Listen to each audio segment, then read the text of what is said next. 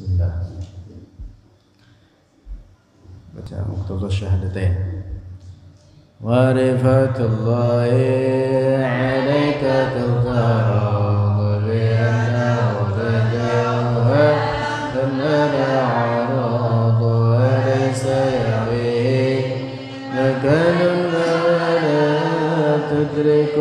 العقول. جل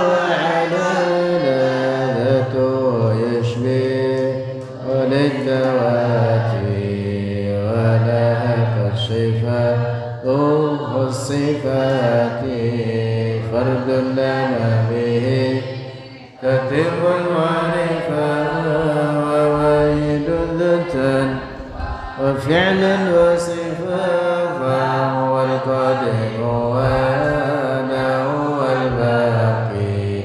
في القيد نحن وهو في الإطلاق وهو السامع والبصير.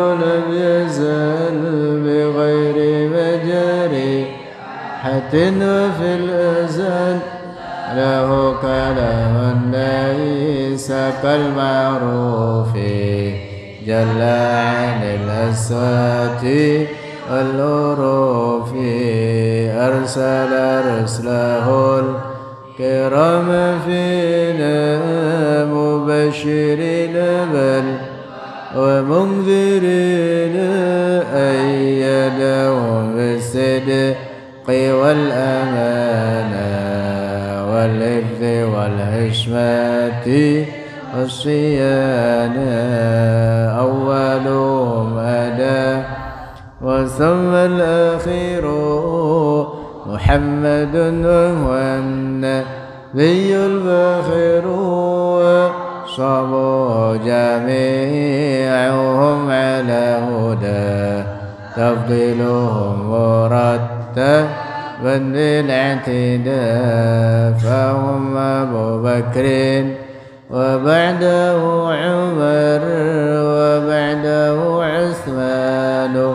ذو الوجه الأغر ثم علي ثم باقي العشرة وهي التي في جنة. وبشرا وكل ما عنهن نبي أخبر فإنه محق قل بلا امتراب نحو أمر القبر والقيامة وكل ما كان له علامة مثل طلوع الشمس. من مغربها وقصة الدجال. كن وانتبه هذا هو الحق المبين الواضح. بالذي هذا هو الحق المبين الواضح. وبالذي فيه لا Yang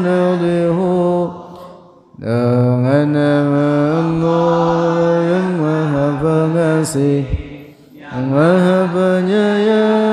Dan yang Tuhan kita Allah Yang tidak Dia tidak dan tidak berubah. Salawat dan salam atas Nabi kita Dia ahli tauhid terbaik manusia juga keluarga dan para sahabat kelompok yang benar padanya merapat kepada Allah wajib untuk mengenal sifat dua puluh kita harus hafal Allah ada dan tidak bermula. Si wujud kita itulah maknanya. Sifat baqa Allah adalah artinya. Dia tidak punah kekal selamanya Inilah Allah bukan benda kasif Bukan sifat benda. Bukan benda latif Itu makna sifat Mukhalafatun lil jauh.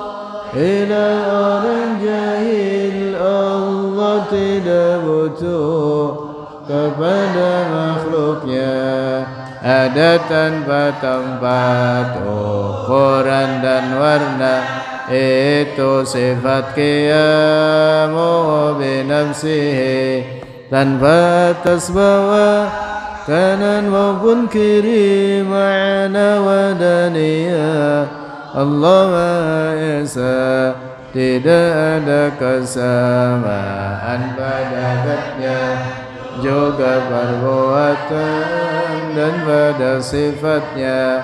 Mana zatnya ada lah hakikatnya sifat kudra Allah.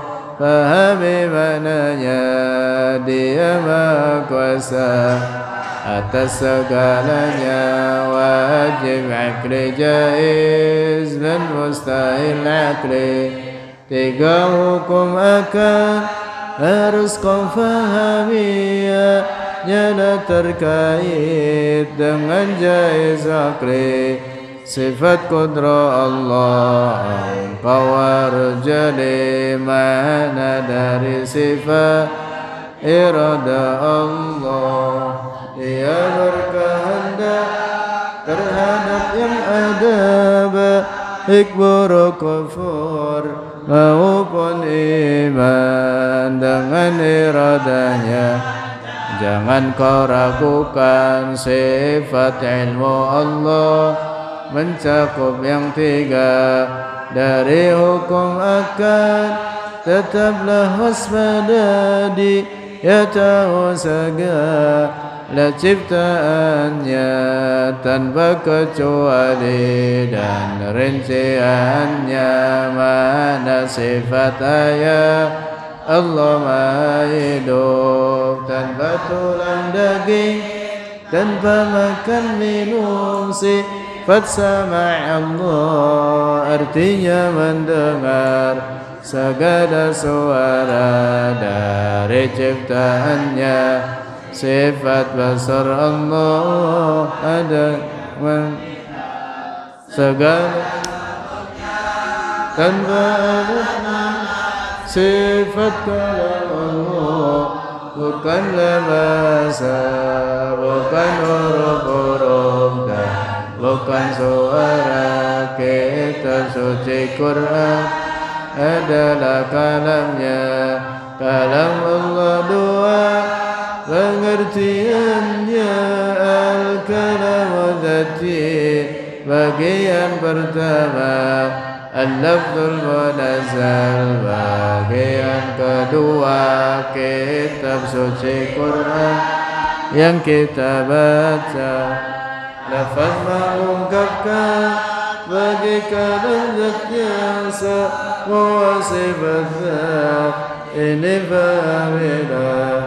fahamilah hafalkanlah ia dan ajarkanlah pemahaman lain kau jangan peduli. Kau akan selamat dan tidak merugi. Kinilah ia hingga engkau wafat supaya selamat. Dunia dan akhirat segala pujian ya milik Allah salawat dan salam atas Rasulullah segala pujian ya milik Allah salawat dan salam atas Rasulullah Allah Ta'ala الحمد لله رب العالمين والصلاة والسلام على سيدنا وحبيبنا وشفيعنا وقرة أعيننا ومولانا محمد سيد الأولين والآخرين وعلى آله وصحبه الطيبين الطاهرين اللهم لا سهل إلا ما جعلته سهلا. وأنت تجعل الحزن يا حي يا قيوم إذا شئت سهلا. اللهم ارزقنا الإخلاص في النية والقول والعمل ونعوذ بك من حال أهل النار. بسم الله. قال المؤلف رحمه الله تعالى وقد قال dan telah dan benar-benar telah berkata Al-Hafizu oleh Al-Hafiz Waliyuddin Al-Iraqiyyu fi hadisi Abi Hurairah pada hadis Abi Hurairah radhiyallahu anhu anna Musa bahwa Nabi Musa alaihi salam qala berkata ia Rabbi adnini. Rabbi wahai Tuhanku. Adnini. Yang dimaksud ya Allah. Ar-Rabb huwa Allah. Ar-Rabb huwa Allah. Ya Allah adnini. Dekatkan aku. Minal ardil muqaddasati. Dari bumi yang disucikan yang dimaksud Baitul Maqdis Ramyata dengan batu.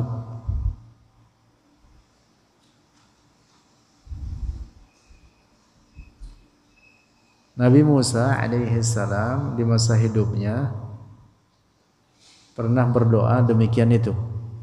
Memohon kepada Allah supaya dijadikan makamnya tidak jauh dari Baitul Maqdis. Wa anna nabiyya dan bahwa nabi sallallahu alaihi wasallam qala telah bersabda ia wallahi demi Allah law anni indahu seandainya bahwa aku di dekatnya. Di dekat kuburan Nabi Musa. La araitukum benar-benar. Memperlihatkan oleh aku akan kalian. Qabruhu akan kuburannya. Ila jambib tariqi. Ke samping tariq ke samping jalan indal kasibil ahmari di al kasibil ahmar itu nama tempat atau nama wilayah di sekitaran Baitul Maqdis ada namanya Al-Kathibil Ahmar. Kata Rasulullah sallallahu alaihi wasallam di hadapan para sahabatnya, seandainya saya saat ini ada di tempat tersebut, maka benar-benar kata Rasulullah aku perlihatkan kepada kalian persisnya di mana itu makam Rasulullah. Rasulullah mengatakan la araitukum benar-benar aku akan perlihatkan terhadap kalian qabruhu akan kuburannya.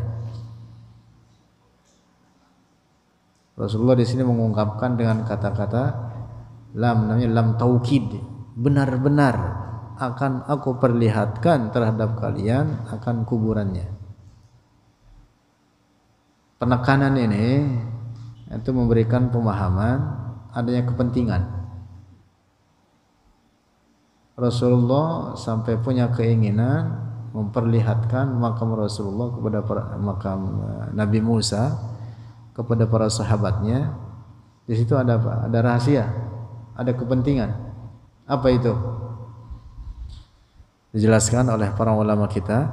Kata siapa? Al-Imam Al-Iraqi fihi di dalamnya ini hadis istihbabu ma'rifati quburis salihin anjuran mengenal makam-makam orang-orang soleh li ziyaratiha untuk berziarah kepadanya wal bih wal bihaqqiha. Dan melaksanakan haknya. Haknya kuburan-kuburan tersebut. Datang kepadanya ziarah kepadanya bertabarruk dengan sahibul qabr itu maksudnya Siapa yang mengatakan ini? Al-Imam Al-Hafiz Waliyuddin Al-Iraqi. Ulama besar ahli hadis terkemuka. Intaha. Selesai. Itu perkataan siapa? Al-Iraqi. Dalam kitabnya namanya Tarhut Tasrib.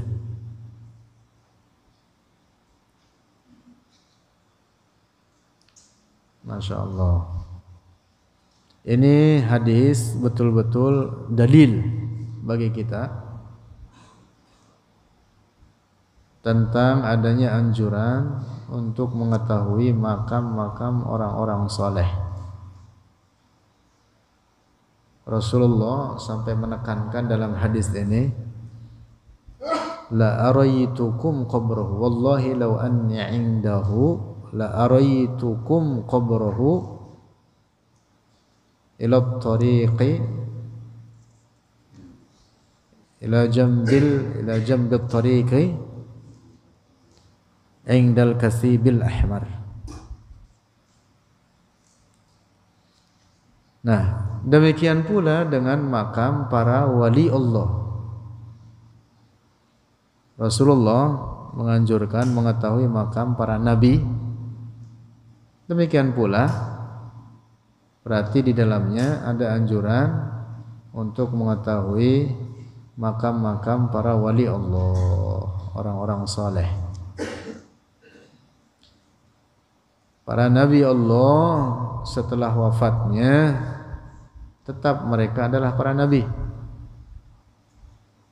Berziarah setelah wafatnya mereka ke kuburannya sama dengan berziarah di masa hidupnya. Demikian kata Rasulullah. Man zarani ba'da wafati faka'annama zarani fi hayati. Kata Rasulullah gitu.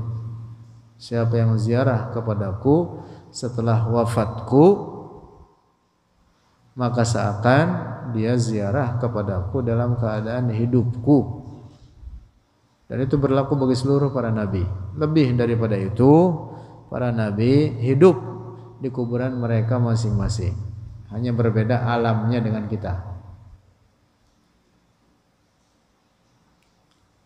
Dalam hadis Rasulullah bersabda, "Al-anbiya'u ahya'un fi quburihim yusallun." Para nabi itu hidup mereka di kuburan mereka yusallu dalam keadaan salat mereka. Nah, jadi ini di antara sekian banyak dalil mengapa para ulama kita menganjurkan kita untuk ziarah ke makam para wali Allah.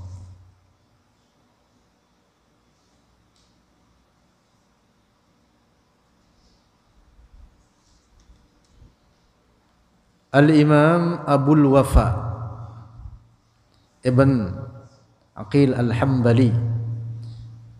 Ini termasuk ulama terkemuka di kalangan mazhab Hambali.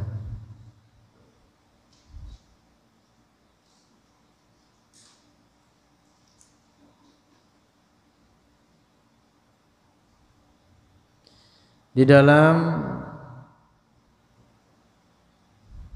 salah satu karyanya beliau mengatakan bahwa sangat dianjurkan ketika ziarah ke makam Rasulullah untuk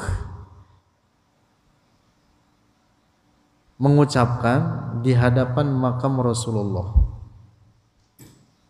Kalimat berikut ini Allahumma innaka qulta fi kitabika li nabiyyika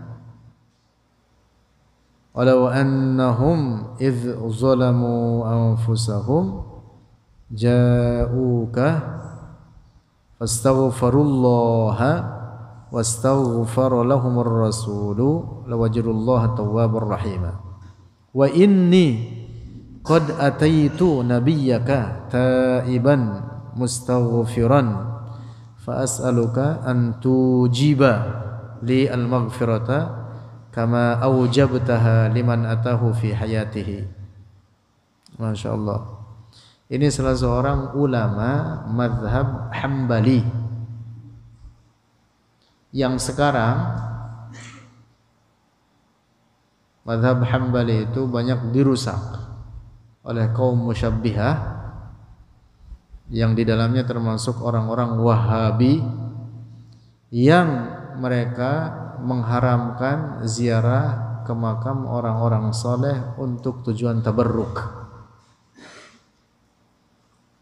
Padahal ini salah seorang ulama terkemuka. Abdul Wafa Ibn Aqil Al-Hambali. Jadi ketika di makam Rasulullah sangat dianjurkan kita mengucapkan kalimat tersebut. Allahumma ya Allah innaka qulta sesungguhnya engkau sesungguhnya engkau berfirman li nabiyyika bagi nabimu walau annahum izzalamu apabila mereka orang-orang mukmin izzalamu anfusahum ketika menzolimi oleh mereka akan diri-diri mereka artinya berbuat maksiat banyak dosa ja'uka lalu mereka datang kepadamu wahai Muhammad?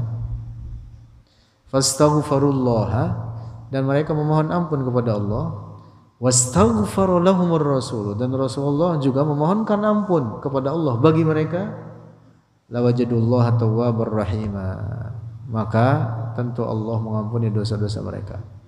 Allah Maha Pengampun. Kemudian masih di hadapan makam Rasulullah Ya Allah. Sekarang ini ini makna harfiahnya. Walaupun dengan bahasa Indonesia tidak mengapa. Ya Allah sekarang ini saya datang ke hadapan Rasulullah. Dalam keadaan mohon ampunan kepadamu ya Allah daripada dosa-dosa saya. Maka ampunilah dosa-dosa saya. Jadi menjadikan Rasulullah sebagai wasilah. Nah, sebagaimana di masa hidupnya Rasulullah apabila ada orang mukmin pelaku maksiat datang kepada Rasulullah dalam keadaan bertobat, lalu Rasulullah memohonkan ampun bagi dia kepada Allah, demikian pula setelah wafatnya. Karena ayat ini tidak berlaku hanya di masa hidup Rasulullah saja. Kalau ayat ini berlaku hanya di masa Rasulullah hidup saja, maka berarti tidak ada manfaatnya sekarang setelah wafatnya. Ayat ini berlaku sepanjang zaman sampai kiamat. Sebagaimana Al-Quran itu sendiri hukum-hukumnya di dalamnya berlaku sampai hari kiamat.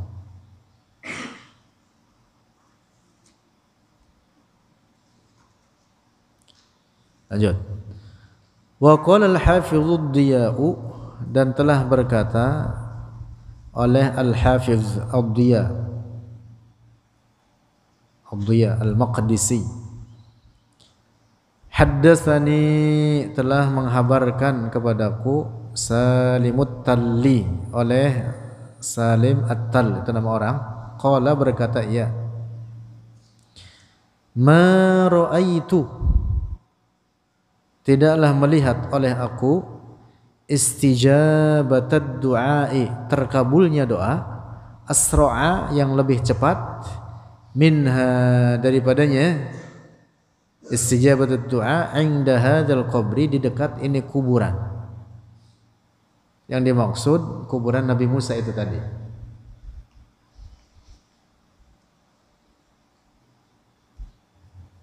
Tadi di atas kita membaca uh, tulisan Al-Imam Al-Hafiz Waliyuddin Al-Iraqi. Adanya hadis Rasulullah yang mengatakan wallahi law anni indahu la araitu la araitukum qabrahu inda ila jambi tariqi indal kathibil ahmar kata Imam Al-Iraqi ini hadis di dalamnya apa? Istihbab ma'rifat kuburi salihin. Adanya anjuran mengenal makam-makam orang soleh kuburan Nabi Musa ada di Baitul Maqdis. Kata Al-Imam Abdiya Al-Maqdisi Al-Hafiz Abdiya Al-Maqdisi beliau mengatakan bahwa telah berkata kepadaku mengkhabarkan kepadaku oleh Salim At-Tal ini juga salah seorang ulama hadis mengatakan Tidaklah aku melihat satu tempat yang lebih mustajab untuk berdoa di tempat tersebut Nabi Musa.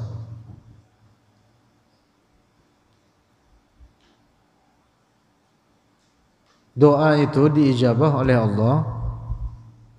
Ada kalanya terkait dengan tempat, ada kalanya terkait dengan waktu. Ya. Mustajabnya atau diijabahnya doa oleh Allah ada kalanya terkait dengan tempat ada kalanya terkait dengan waktu kalau waktu banyak misalkan seperti ke akhir malam misalkan eh, hari Jumat asar menjelang maghrib itu waktu yang mustajab untuk berdoa dari habis asar sampai maghrib dalam hadis Rasulullah mengatakan begitu dan banyak waktu-waktu lainnya dan ada kalanya terkait dengan tempat. Terkait dengan tempat pun banyak. Salah satunya adalah kuburus solehin, makam orang-orang soleh. Demikian dikatakan oleh Al-Hafiz Al-Jazari. Beliau mengatakan min mawadhi istijabatid du'a kuburus salihin di antara tempat yang mustajab untuk berdoa adalah makam orang-orang soleh. Terlebih lagi makam tersebut adalah makam seorang Nabi Allah. Masya Allah. Lanjut. Wahaddatsani asy-syaikh dan telah menghabarkan kepadaku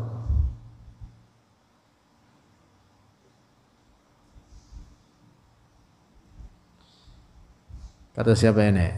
Al-Hafiz Ad-Diya Al-Maqdisi oleh Al-Syeikh Abdullah Ibnu Yunus Al-Ma'ruf bil Armani annahu zara hadzal qabra. Bahwasanya dia Al-Syeikh Abdullah ibn Yunus menziarahi ini kuburan. Yang dimaksud kuburan siapa? Nabi Musa alaihi salam. Wa annahu dan bahwasanya dia Syekh Abdullah bin Yunus nama tidur ia fara'a maka melihat olehnya.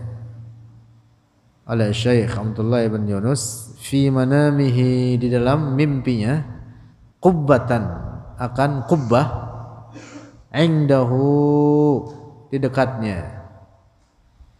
Wa fiha di dekatnya yang mimpi ini wa fiha di dalam kubbah dan di dalam kubbah tersebut syakhsun seseorang asmaru. Yang coklat atau kecoklatan warnanya. Fasallama alaihi maka salam oleh Abdullah Syekh Abdullah bin Yunus alaihi atasnya. Wa qala lahu dan berkata oleh Syekh Abdullah bin Yunus Al-Armani ini yang dikenal dengan nama Al-Armani ini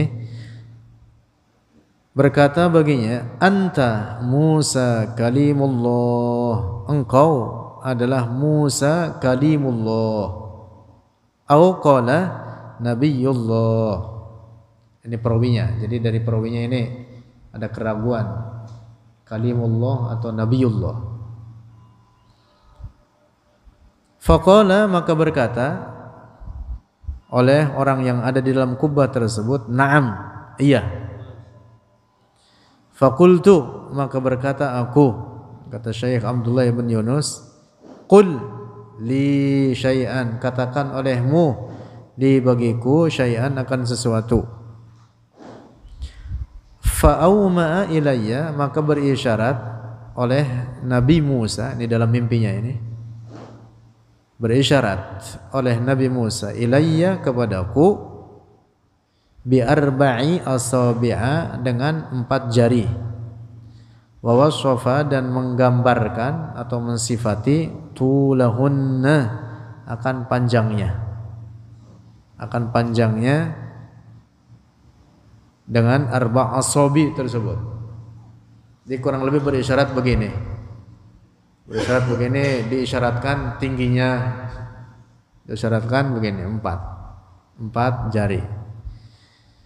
Fantabahtu maka bangun aku atau terjaga aku kata Syekh Abdullah bin Yunus Al-Armani walam adri dan tidak mengetahui olehku maqala apa yang ia ucapkan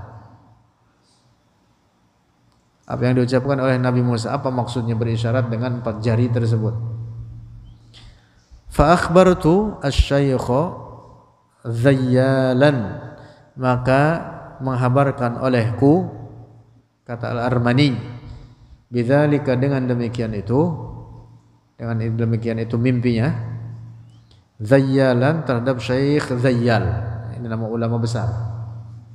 Juga ahli hadis bidzalika dengan demikian itu faqala maka berkata oleh Zayyal yuladu laka arba'atu aulad akan dilahirkan bagimu empat orang anak. Jadi syarat Nabi Musa begini ini, engkau akan punya anak empat. Takwilnya kata siapa? Kata Syekh Zayyal.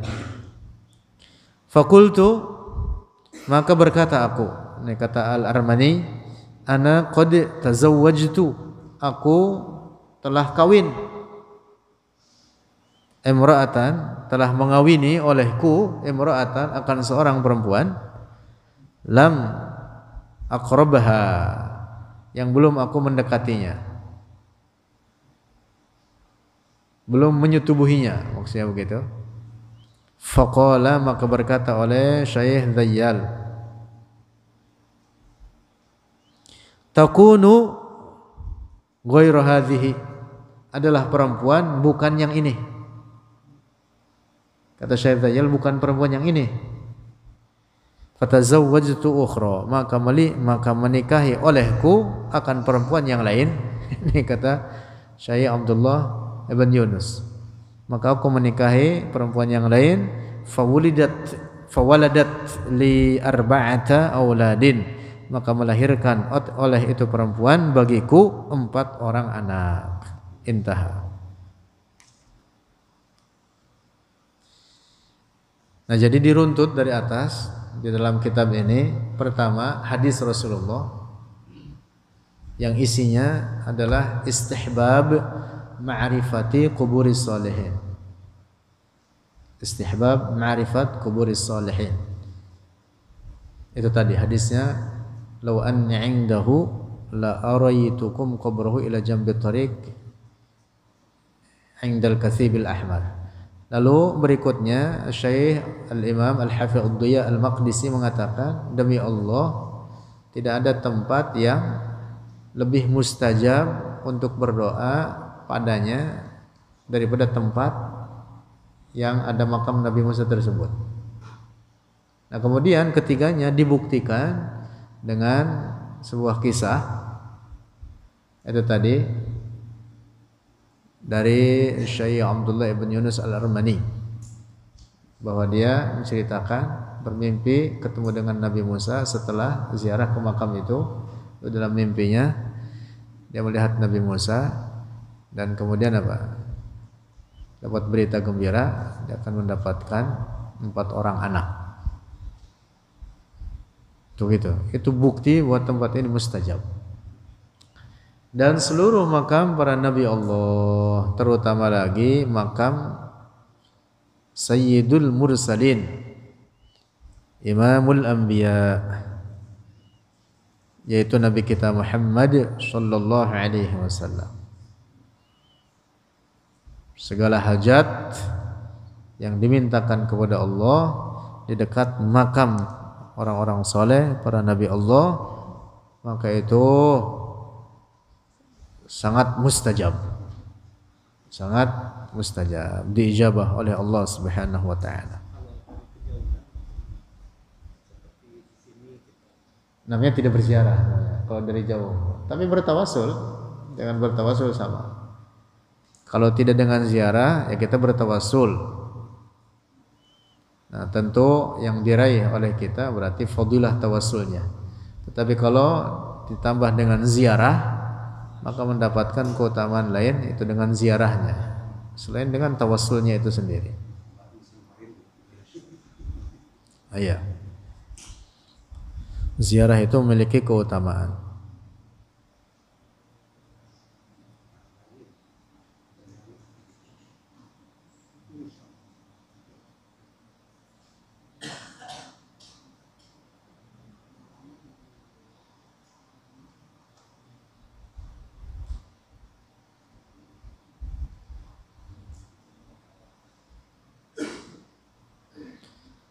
Ada banyak perkataan para ulama dan bahkan oleh mereka sendiri dicontohkan.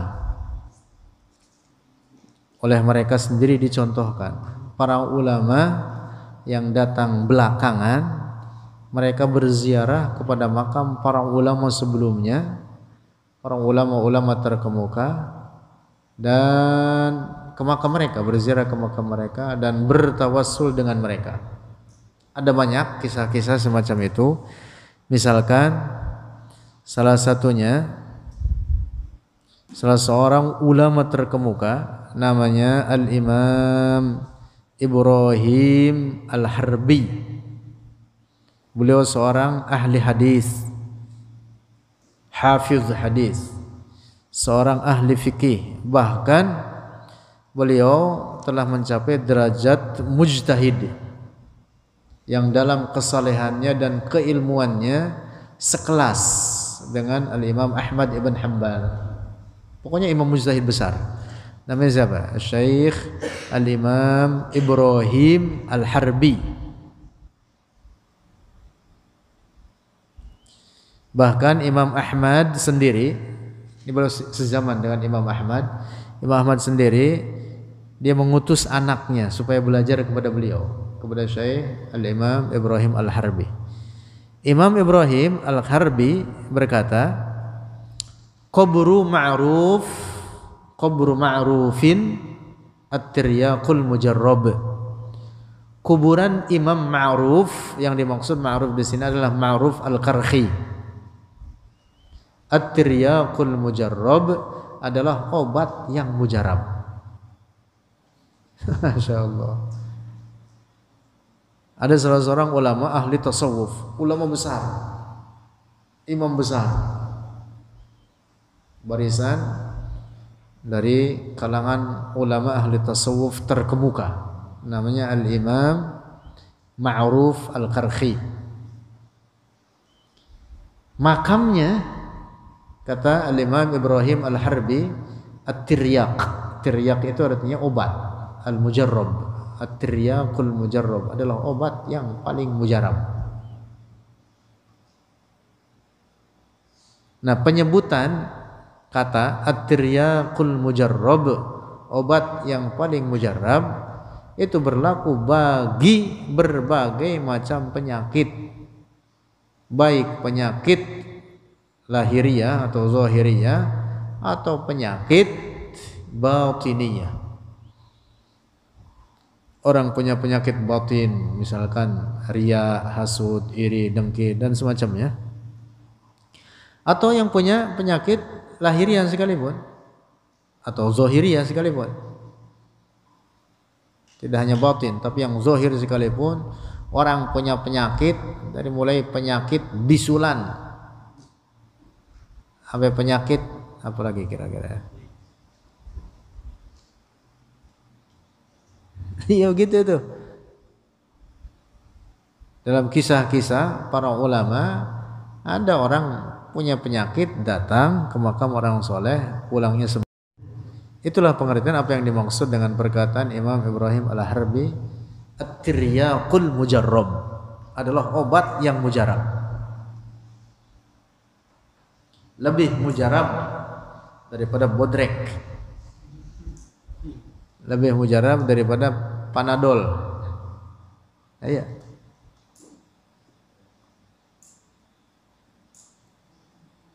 Dulu ada teman kita pulang dari Beirut bawa pecahan batu yang berasal dari makam Sayyiduna Hamzah bin Abdul Muttalib yang di Gunung Uhud.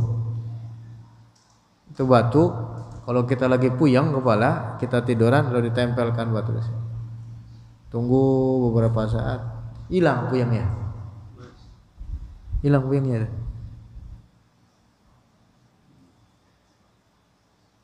mirip bodrek. Bahkan lebih daripada bodrek. Begitu ya begitu.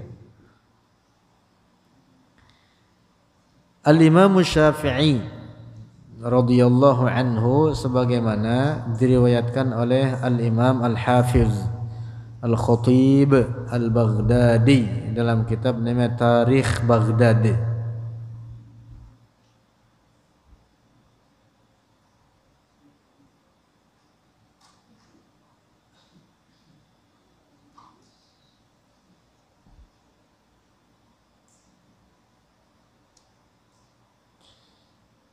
Setiap hari Imam Syafi'i ketika di Baghdad Imam Syafi'i itu tidak berjumpa dengan Imam Abu Hanifah. Karena Imam Abu Hanifah wafat persis di tahun kelahiran Imam Syafi'i. Itu 150 Hijriyah jadi tahun itu lahir Imam Syafi'i wafat Imam Abu Hanifah. Sehingga sebagian ulama kita atau banyak para ulama mengatakan uh, gharabat syamsun wa tala'at syamsun. Jadi terbenam matahari, datang matahari yang lain. Nah, jadi Imam Syafi'i ketika di Baghdad hampir setiap hari datang berziarah ke makam Imam Abu Hanifah. Bahkan diriwayatkan bahwa beliau berkata, tidak ada masalah yang sulit aku pecahkan kecuali aku datang ke makam Imam Abu Hanifah berdoa di sana bertawassul dengannya lalu aku keluar dari makamnya dan Allah telah membukakan bagiku jawaban dari masalah yang sedang aku hadapi. Diriwayatkan demikian dari Al-Imam Syafi'i. Juga para ulama lainnya ada banyak yang meriwayatkan demikian itu.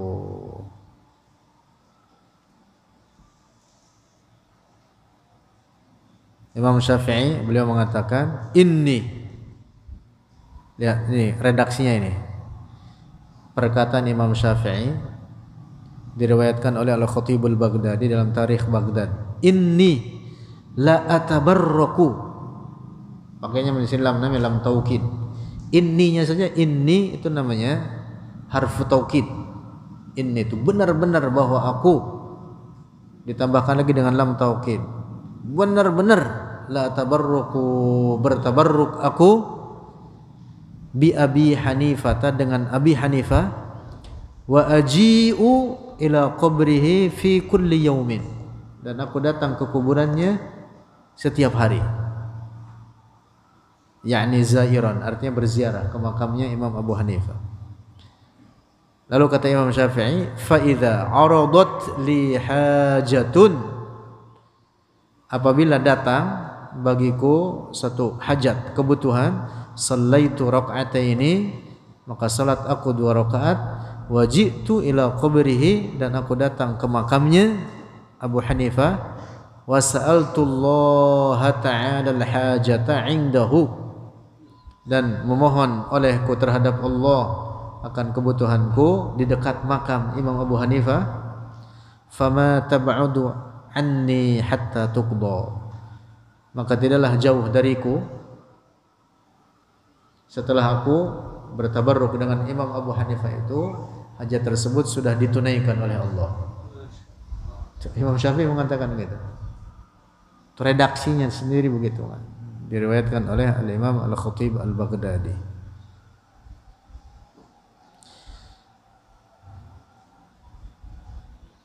Al-Hafidh Al-Jazari Syekhul Qurra. Ini beliau uh, ulama terkemuka dalam kiroah.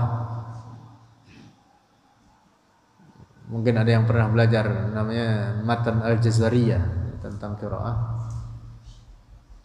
Itu beliau mengatakan apa?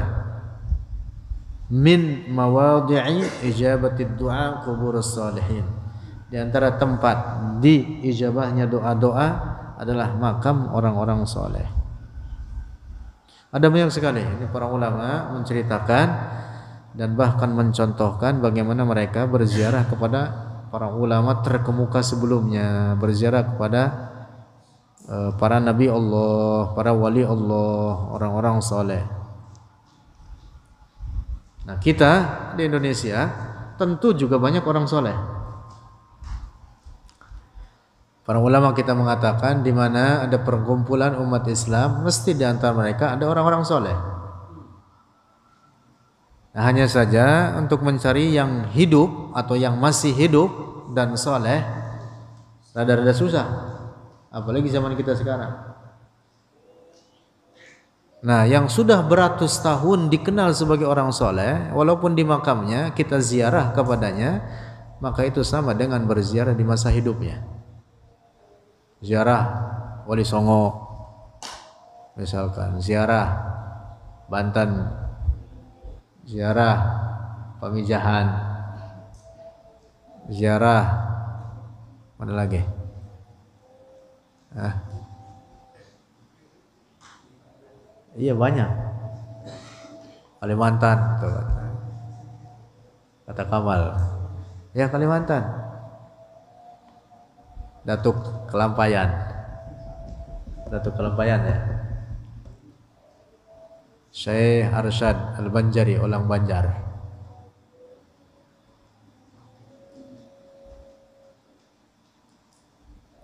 Banyak makam-makam keramat di sekitar kita ya. Bahkan di wilayah kita di Jakarta saja pun juga ada banyak makam-makam keramat yang baik atau sangat dianjurkan untuk diziarahi. والله أعلم بالصواب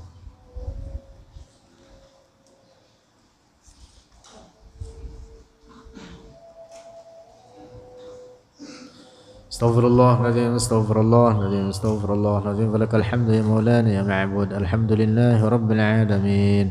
الصلاة والسلام على سيدنا وحبيبنا وشفيعنا ومولانا محمد في الأولين والآخرين على آله وصحبه الطيبين الطاهرين اللهم انفعنا بما علمتنا وعلمنا ما ينفعنا وارزقنا علوما تنفعنا وزدنا علما. اللهم وفقنا لما تحبه وترضاه.